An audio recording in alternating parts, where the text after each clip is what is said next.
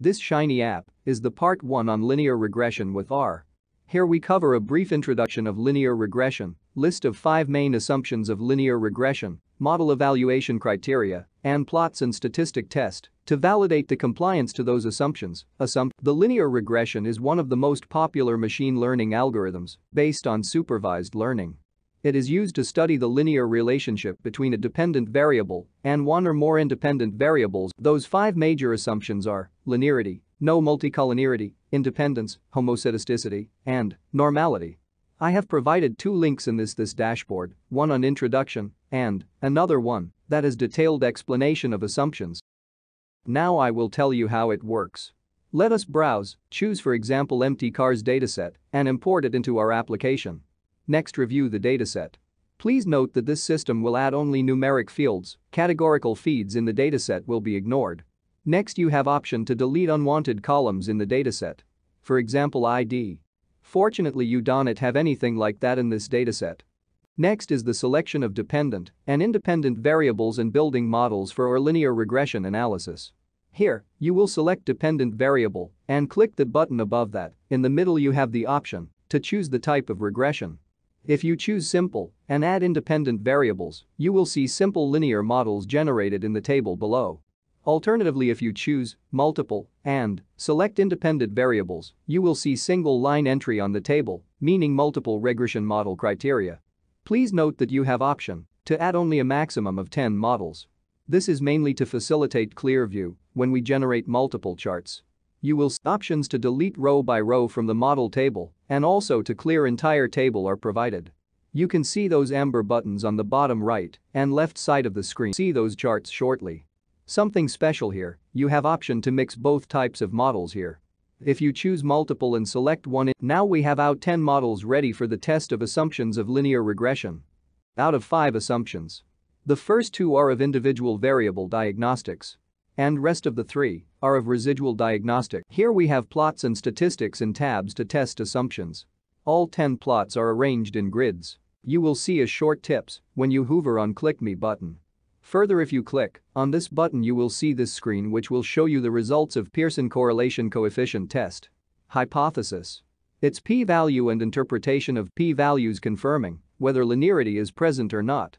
There are two links on the footer, when you follow, you will have better understanding of P. Next we are in multicollinearity. Here we use variance inflation factor and test this assumption. There is a rule of thumb to interpret the results of variance inflation similar to previous screen, click me button will take you to brief note on this multicollinearity. And there are links for further study. From here let us do residual diagnostics, first is the test of autocorrelation. We use Durbin-Watson test. Interpretation of results are provided. Next is the homoscedasticity. Here we use the Breusch-Pagan test. You have the interpretation of results for this dataset. Links in the footer are for better understanding of the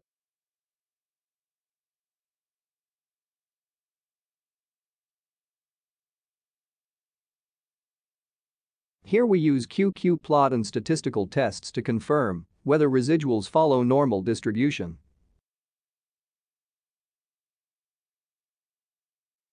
Here we do 5 types of statistics tests to confirm the normality of residuals. Models having green p-values confirms the normality of the residuals. Here you could see uniformity of results of those 5 interesting option on the right side of the screen. Similar to Flipbox, I have used flashcard package. Kindly browse the net for more understanding of this flashcard. It is possible for a single observation to have a great influence on the results of a regression analysis. Here we do measure of influence using Cook's D-bar chart and standardized residual chart. Click change chart type button to play with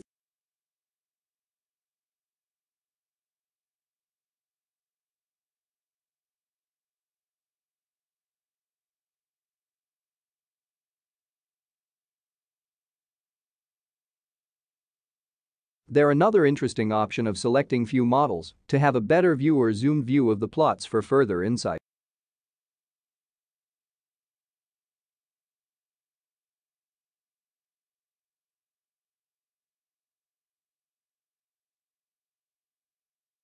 Once you choose view models, plots and statistics relating to residuals in other tabs also get the same impact, you will see zoomed view of those chosen models.